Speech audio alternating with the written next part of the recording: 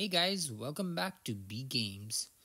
Today we'll be doing Tinkerton in double HP MOAB, right?